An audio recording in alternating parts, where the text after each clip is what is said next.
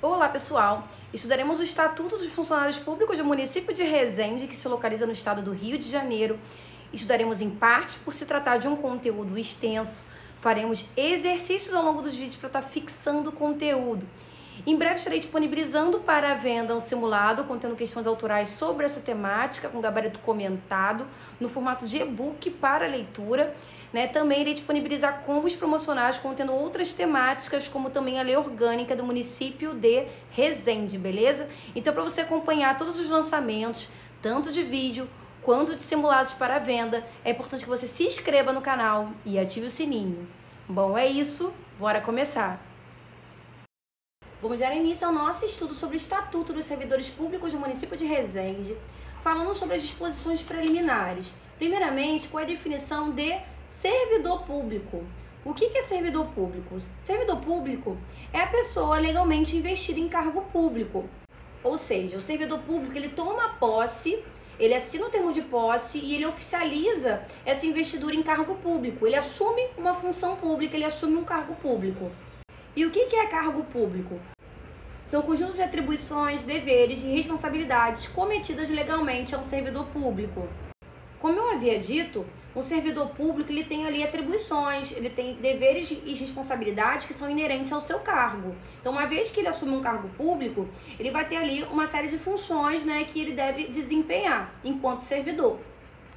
Bom, são características de um cargo. Um cargo público ele deve ser criado através de lei, criado por lei, com denominação própria, então cada cargo vai ter uma denominação.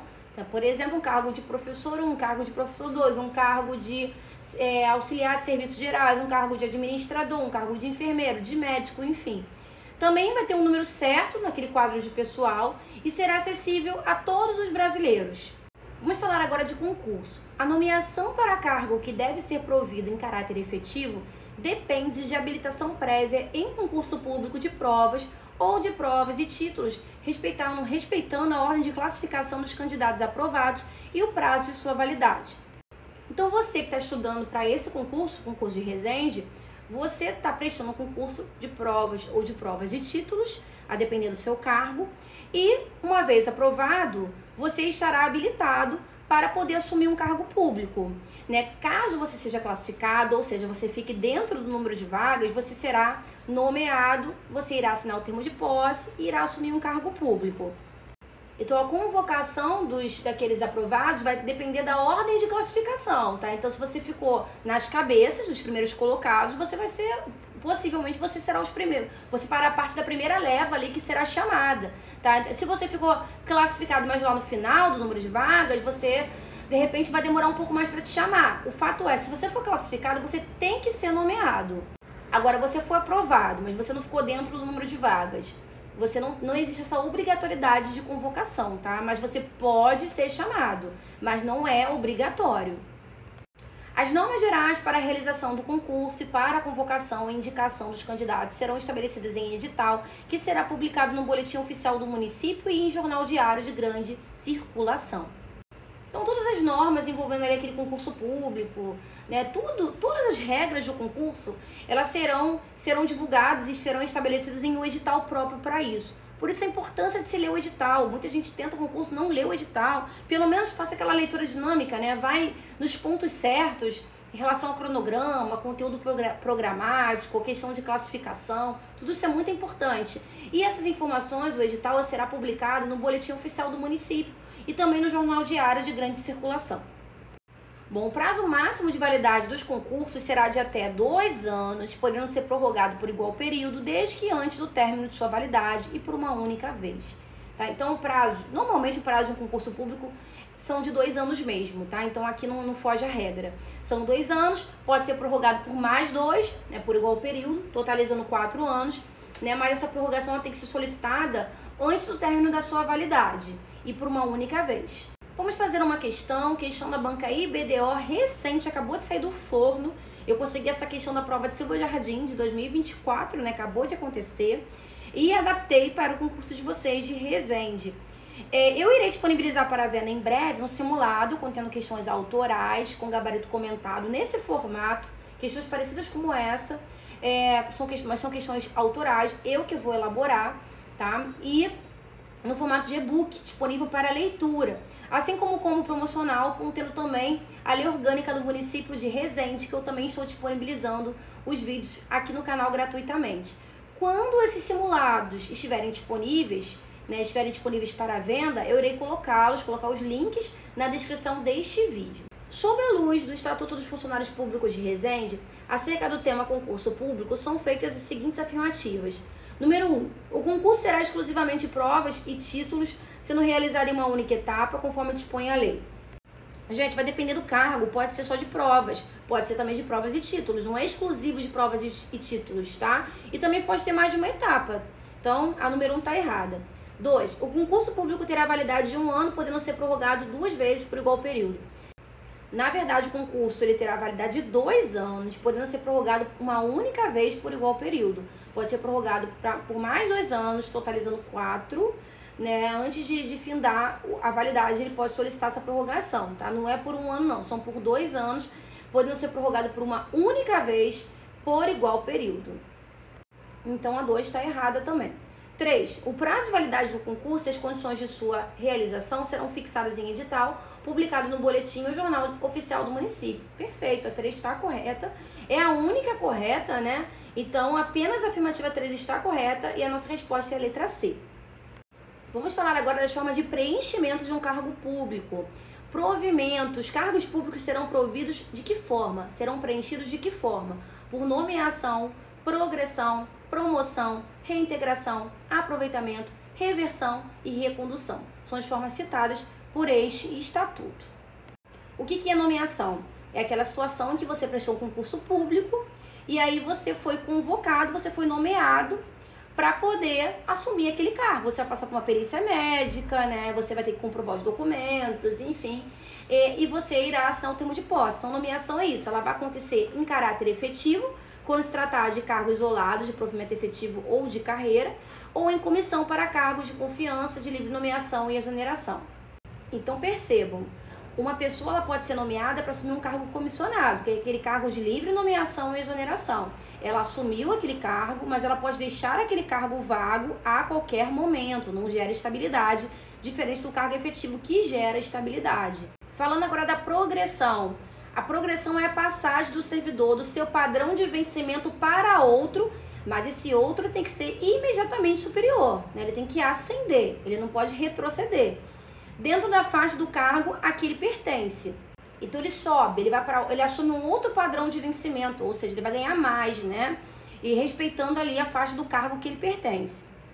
Esses padrões de vencimento estão estabelecidos nos planos de cargo e carreira dos servidores. E essa progressão por tempo de serviço ela acontece de forma automática. O servidor não precisa ir até a repartição pública, até a secretaria a qual ele pertence, solicitar essa progressão. Na medida que ele vai na medida que vai passando o tempo, ele vai tendo essa progressão acontecendo automaticamente. A promoção é a elevação do servidor à classe imediatamente superior àquela que ele pertence, tem que ser na mesma carreira e os critérios utilizados são de merecimento e antiguidade. E sempre, né, claro, respeitando ali lei e também vai depender de existência de vaga. Então, é aquela ideia, que você, você foi promovido, ou seja, é uma coisa boa, né? Você foi promovido significa que você ascendeu, você elevou-se o servidor passou por uma classe imediatamente superior. Claro que ele vai receber mais por isso, mas tem que ser na mesma carreira.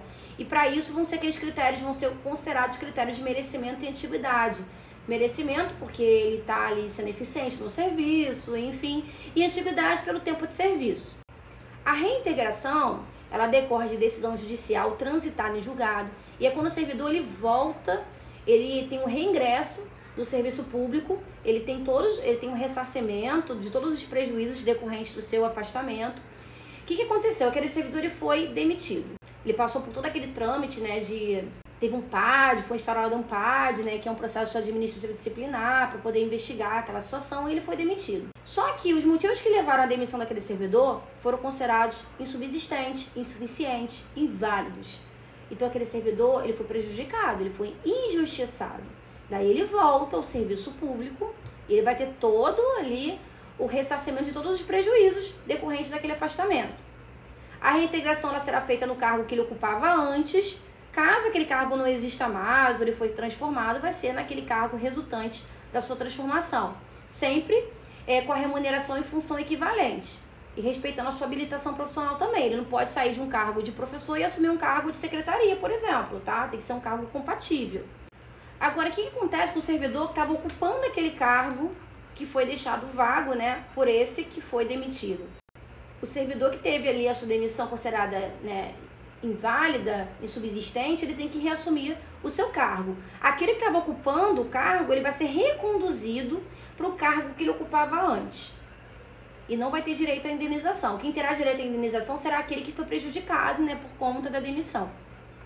O aproveitamento é o retorno do servidor em disponibilidade ao exercício do cargo público. É aquele servidor que ficou ali é disponível porque o cargo dele foi considerado foi extinto, deixou de existir né? Então ele vai ficar ali disponível, ficar ali parado, esperando alguém, esperando o serviço público, esperando a administração pública aproveitá-lo e um cargo. Esse aproveitamento acontecerá a pedido ou ex ofício, né, de ofício, né, a critério da própria administração pública. Vai depender também de é, comprovação da capacidade física e mental de, é, de acordo com perícia médica, de, de acordo com inspeção médica. Se por acaso o laudo médico não for favorável ao retorno daquele servidor, um novo exame vai acontecer em outro momento, no mínimo 90 dias depois. Bom, se for provada a incapacidade desse servidor, ele será aposentado, tá? E não tem jeito ele ser aposentado, ressalvada a hipótese de readaptação. Se tem como readaptá-lo, colocar ele numa função compatível, né, e que seja condizente com as suas limitações físicas ou mentais, aí você readapta esse servidor. Agora, se não for possível nem a readaptação, aí nesse caso ele será aposentado. A reversão é o retorno à atividade do servidor aposentado no serviço público após verificação é, em processo de que dos motivos né, que levaram à aposentadoria eles foram considerados inconsistentes, insuficientes. Então, não faz sentido manter esse servidor aposentado. Então, ele volta, ele retorna às suas atividades normais. E aí, quando ele retorna, nós damos o nome desse provimento de reversão. A reversão acontecerá a pedido ou de ofício, né? A pedido o próprio servidor deseja isso, tem interesse nisso, ou de ofício a critério da administração pública. É claro que a reversão vai depender de prova de capacidade física e mental verificada em exame médico, em perícia médica. Além disso, a reversão acontecerá no mesmo cargo ou no cargo resultante de sua transformação. Aqui é dito que não poderá reverter a atividade o servidor aposentado que completar 70 anos de idade. Essa idade era a idade da aposentadoria compulsória antigamente. Hoje, com a reforma da Previdência, a aposentadoria compulsória acontece aos 75 anos de idade. Aí, gente, muitos me perguntam, o que fazer então? Considerar o que está no estatuto ou considerar é, o que está atualizado, né? Então, atenção ao comando da questão e atenção também ao perfil da sua banca. Se for uma banca séria, a banca ela não vai colocar uma informação desatualizada, tá? Mas se aparecer de acordo com o Estatuto do Servidor Público, é cabível você colocar assim 70 anos, mesmo sendo uma informação desatualizada. Mas também cabe aqui um recurso, porque se você entrar em considerar a reforma da Previdência, isso aqui vai estar errado. Então, uma banca séria é uma, é uma banca atualizada, é uma banca que não vai, não vai colocar uma informação desatualizada, porque ela sabe que isso vai dar problema para ela, porque isso vai gerar recurso. Tem mais uma informação interessante aqui, que o servidor revertido a pedido, né, ele solicitou, ele não poderá ser novamente aposentado em maior remuneração antes de decorridos cinco anos de reversão, salvo sobrevier moléstia que o incapacite para o serviço público. Então, se ele pediu né, o retorno após a aposentadoria, ele tem que esperar pelo menos cinco anos para poder solicitar essa aposentadoria em maior remuneração novamente, a não ser que ele acabe tendo ali uma moléstia, uma doença que o incapacite para o serviço público. E a recondução, como eu já tinha falado para vocês, é quando o servidor estável, ele retorna ao cargo anteriormente ocupado por conta de... Aí tem duas situações aqui. Tem a situação de inabilitação em estágio probatório relativa a outro cargo. Ele, ele foi considerado reprovado, vamos colocar assim entre aspas, né? Reprovado no estágio probatório relativa a um outro cargo, aí ele é reconduzido ao cargo anterior, ou por conta da reintegração do anterior ocupante, aquela situação do servidor que foi demitido injustamente, ele volta, aí que estava ocupando seu cargo vai ser reconduzido ao cargo anterior. Vamos fazer mais uma questão, questão também adaptada, questão de 2021 da Banca BDO, que diz o seguinte: Segundo o Estatuto dos Servidores Públicos do Município de Resende, analise as alternativas abaixo e marque a incorreta. Então vamos analisar cada alternativa. Letra A. O servidor é pessoa legalmente investida em cargo público? Sim, nós vimos isso né, logo no início, lá nas, disposi nas disposições preliminares, que servidor é a pessoa que investe em cargo público de forma legal. Portanto, a A está correta. Letra B. Cargo é conjunto de atribuições e responsabilidades previstas na estrutura organizacional que devem ser cometidas a um servidor? Sim, perfeito. Cargo público são um conjunto de deveres, atribuições, responsabilidades que são direcionadas a um servidor. Letra C. As funções públicas acessíveis a todos os brasileiros são criadas por resoluções com denominação própria e vencimentos pagos pelos cofres públicos para provimento em caráter efetivo ou em comissão. Na verdade, o termo mais adequado aqui seria os cargos públicos, né? São acessíveis a todos os brasileiros e eles não são criados por resoluções, tá? Eles são criados através de lei. Possui sim denominação própria, vencimento pago pelos cofres públicos, pode, ter, é, pode acontecer em caráter efetivo ou comissionado. Mas está errado aqui, né? Porque na verdade o termo mais apropriado é cargo público aqui e também porque não é criado por resolução e sim criado por lei. E letra D, todas as alternativas estão incorretas? Não, né? Apenas a letra C, logo a C é a nossa resposta. E quais são os requisitos para investir em cargo público? Tem que ser brasileiro, nato ou naturalizado. No caso de nacionalidade portuguesa, é, tem que estar amparado pelo Estatuto de Igualdade entre brasileiros e portugueses, com reconhecimento de gozos de direitos políticos. Também ter completado 18 anos de idade, né, ter 18 anos completos na, no momento ali que ele vai é, apresentar os documentos, né, da sua nomeação ali que ele apresenta os documentos para poder tomar posse posteriormente. Tem que estar em pleno gozo dos direitos políticos, né, exercendo seus direitos políticos, direito ao sufrágio universal, pleno direito ao voto, voto direto, secreto também quitação com as obrigações militares e eleitorais, no caso de homem, né, do sexo masculino, as obrigações militares, né, e as obrigações eleitorais para todos. Ter aptidão física e mental para poder assumir aquele cargo, tem que passar por uma perícia médica para isso. Possuir aptidão para o exercício da função. Também ter ter se habilitado previamente concurso público, ou seja, ter prestado concurso público e ter sido aprovado e ter atendido as condições especiais prescritas em lei, decreto ou regulamento. Bom, as pessoas que possuem algum tipo de deficiência, a essas pessoas são reservadas 5% das vagas oferecidas no concurso público. E essas vagas elas devem ter ali atribuições compatíveis com a deficiência que essas pessoas possuem. Além disso, o provimento de cargos, de cargos públicos é de competência privativa do prefeito municipal. Então, apenas o prefeito tem a competência de prover os cargos públicos do município. Lembrando que a competência privativa é aquela que é designada para um ente federativo, nesse caso aqui foi designada para o Poder Executivo, para o prefeito, mas ele pode dele delegar, caso seja necessário. A competência exclusiva não, ela não é delegável. Bom, ao entrar em exercício, o servidor nomeado para cargo de provimento efetivo, né, aquele cargo que gera estabilidade, ficará sujeito a estágio probatório durante três, os três primeiros anos ininterruptos, sem parar, de efetivo exercício. Nesses três primeiros anos serão avaliados alguns requisitos para, para que esse servidor lhe atinja a tão desejada estabilidade do serviço público.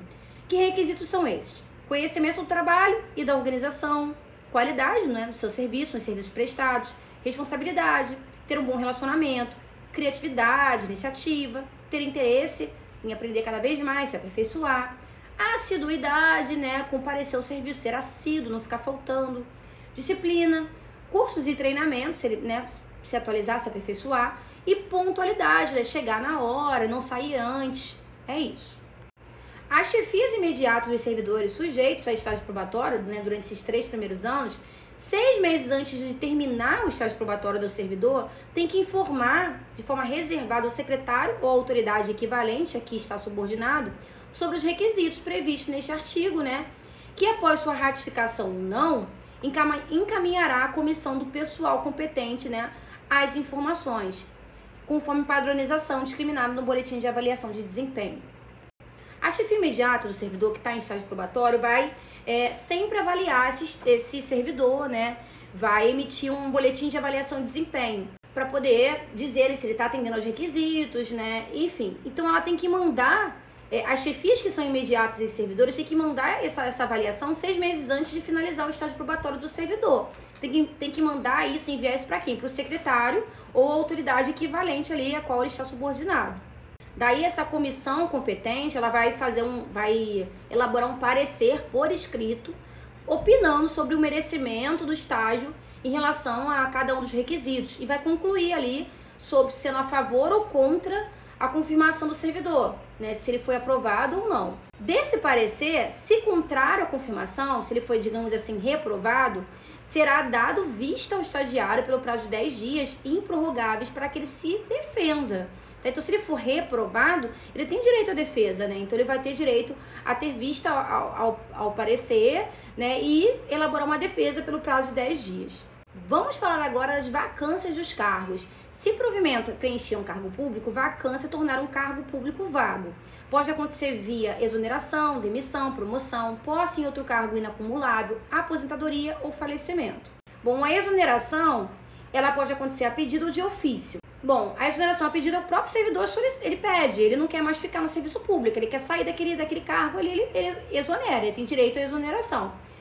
É, de ofício é quando for a critério da administração pública. Quando é que vai acontecer a exoneração de ofício? Quando tratar-se de cargo em comissão, que é aquele cargo de confiança, de livre nomeação e exoneração, que não gera estabilidade. É, quando o servidor não entrar em exercício no prazo legal, o servidor ele toma posse, ele tem um tempo para poder entrar em exercício. Se ele não entrar em exercício no tempo, no prazo estabelecido, ele será exonerado de ofício. Quando não satisfeito as condições do estágio probatório, ele foi reprovado em estágio probatório, ele será exonerado de ofício, não é demitido, ele será exonerado. E nos demais casos previstos nesse estatuto. A demissão é uma forma de punição, tá? Então, para um, um, servidor ele ser demitido, é, ele tem que ter passado aí por um processo transitado em julgado, tem que ter passado por um PAD, instaurado um PAD, com um processo é, administrativo disciplinar para poder averiguar, para poder, com poder de investigação, para poder verificar essa situação. Tem todo um trâmite, não é, não é simples uma demissão de serviço público. A gente vai ver melhor a demissão na parte das penas disciplinares, que é mais pro final do nosso estudo, tá? Então eu não vou ficar muito presa a isso. Aqui o que eu quero é que vocês saibam que demissão é uma forma de vacância e também uma forma de punição. A promoção também é uma forma de vacância e também é de provimento. Nós vimos né, que também é de provimento. Por que é as duas coisas ao mesmo tempo? Porque quando o servidor ele, ele passa para uma classe imediatamente superior, ele deixa aquela classe vaga, aquela anterior vaga. Ele ocupa uma, uma classe que é imediatamente superior e deixa vaga a, a classe inferior. Né? Então, por isso que as duas coisas ao mesmo tempo. A posse em outro cargo inacumulável, por que, que é uma forma de vacância? Se o cargo fosse acumulável, você podia manter os dois, desde que houvesse ali, compatibilidade de horário, enfim. Mas como o cargo é inacumulável, você tem que abrir mão de um. Então, por isso, você é uma forma de vacância, porque você vai abrir mão de um, vai gerar um cargo, vai gerar vacância em um cargo. A aposentadoria, você se torna um servidor inativo, né? Você não está mais na ativa, então você vai deixar aquele cargo ali vago. E o falecimento, né? Autoexplicativo. Vamos falar da posse. A posse é o ato que investe o cidadão em cargo público. É quando ele se compromete ali com, os, com as responsabilidades do seu cargo, ele oficializa isso, então ele assina o termo de posse. A posse deverá acontecer no prazo de 30 dias, podendo ser prorrogado por mais 30 dias, tá? Esse é o prazo, mas é prorrogável. Não haverá posse nos casos de promoção, reintegração e designação para desempenho de função gratificado. Então, nessas situações não tem por que ter posse, tá? A promoção já está no serviço público, ele só foi né, ocupando ali uma classe imediatamente superior. Reintegração ele já estava também, ele foi demitido de forma injusta, mas ele volta. E designação para uma função, para um desempenho de função gratificada, que é uma função de confiança, que ele vai receber um pouco mais por isso. Então, nessas situações não, não cabe posse são competentes para dar posse o prefeito municipal, que é o chefe do Poder Executivo, o secretário municipal de administração e os responsáveis pelas autarquias e fundações municipais, né, que fazem parte da administração pública indireta. E exercício é o efetivo desempenho dos deveres e das atribuições do cargo público. Exercício é você colocar a mão na massa, você de fato começar a trabalhar. Quando é que você entra em exercício? Você toma posse, você tem 30 dias para entrar em exercício, tá? Então o exercício terá início no prazo de 30 dias a contar né, da data da posse. No caso da reintegração, reversão ou designação para desempenho de função gratificada, nesse caso vai contar esses 30 dias a partir da data da publicação oficial desses atos. Mas nos demais casos é a contar a partir da data da posse. Tem uma coisa importante aqui.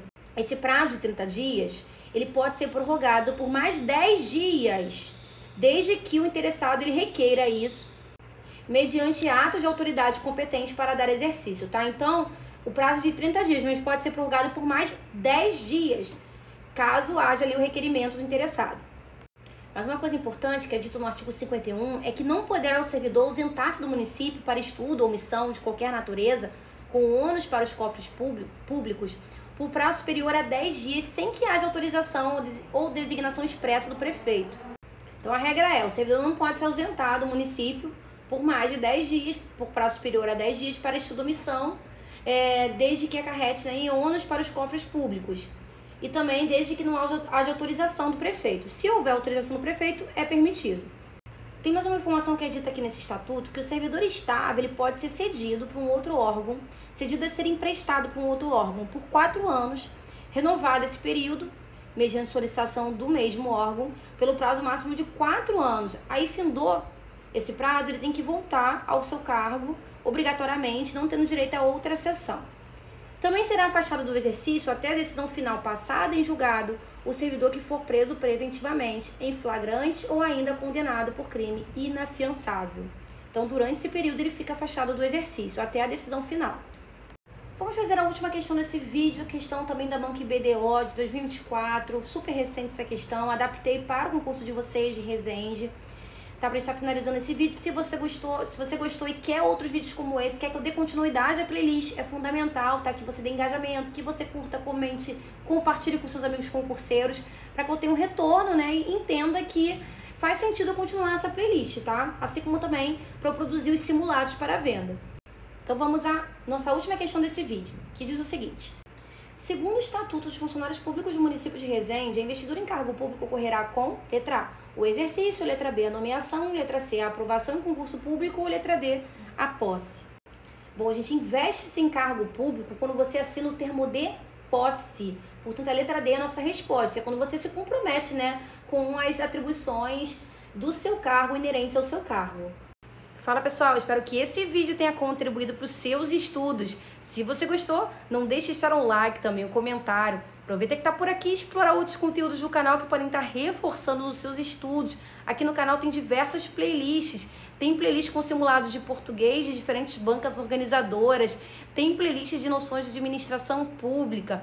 Tem playlist de para, para a galera de educação, simulados né, para a área de educação, né, de conhecimentos pedagógicos. Também tem playlist aqui é, de legislação educacional, tem playlist de legislação ambiental para a galera do meio ambiente, tem diversas playlists aqui, explore maratone para o seu concurso.